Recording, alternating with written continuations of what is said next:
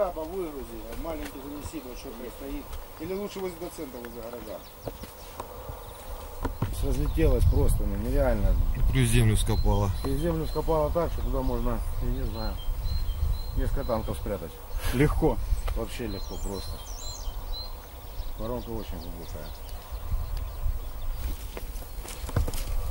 Белый металл, слоеный, кожаный, запрессованный один в один. Что-что? Темно было вечер. Наверное, где-то часиком 10. Ну, я точно не помню, честно. Я на время просто даже не смотрел. Здесь время летит быстро. Вот. э, Ну и получился огромный хлопок, когда повернулись, все увидели очень высокий грибок. Именно как, я не знаю, как от ядерного взрыва. Ну, конечно, это не ядерное, а просто, ну, из-за очень мощного эквивалента взрывчатки так и получилось. А здесь были рельсы, да? Здесь какая-то Здесь э, шла железная дорога, да, э, заводская. Все это просто разорвало, воронка огромная, тут несколько танков можно спрятать вообще налегке. Можно ба- бассейн сделать или там ставок какой-нибудь, зарыбить. А вот ваше мнение, как, бы, как опытного бойца, который практически с самых первых дней, наверное, даже с самых первых дней воюет тут, что это могло быть? Встречали вы это раньше? Нет, раньше никогда не встречал. Э, Это дело в том, что в любом случае, я думаю, это какая-то ракета, снаряд таких э, последствий не может наносить. Просто у настолько все сильно вывернут, ладно, землю.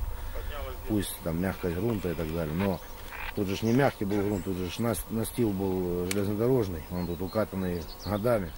Это какая-то импортная ракета, я так думаю, потому что, ну, такие увечья земле и зданиям и всей структуре ну, не могло принести обычное там какой-то снарядик. Ну, а говорят, что это точка У, точка У. Нет, точка У вот прилетала, да, сюда уже. Такого не было ущерба. То есть это точно не точка У. Нет, это что-то импортное, ну, по моему мнению, я не знаю.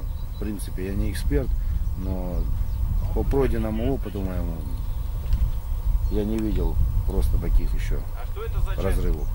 Трава лежит в обратную сторону, то есть в эпицентр втянула. Направление вот травы, вот она, сейчас сюда. Положено. В сторону взрыва. Да, в Всё в эпицентр. обратную сторону затянуло. Там взрыв, если бы ее откинуло, она была вот под бордюром вот здесь. А так она вся с обратной стороны. Ее после этого все затянуло назад. В эпицентр взрыва все сыпало.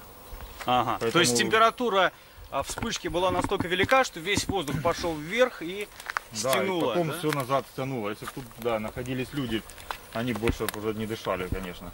А так Понятно. это все выжило. Выжило тут весь кислород, все вакуум создало очень мощный. Как по-вашему, все-таки, что это было? Взрыв м, произошел непонятного, ну, непонятной структуры, потому что он вакуумный получился. Сначала все разметало, насколько видно здесь. Ну, в принципе, далеко, очень далеко все разметало. И потом, э, судя по траве и по э, деревьям, втягивало все назад. То есть взрыв как вакуумный, непонятное для нас оружие еще. А был слышен именно как полет этого оружия или прилет?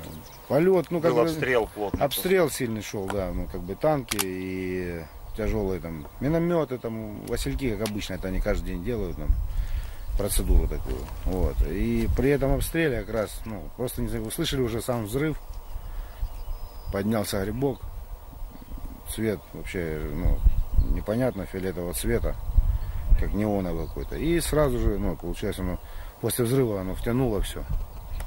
То есть вот судя по всем этим осколкам, по траве, оно все назад втягивало в себя.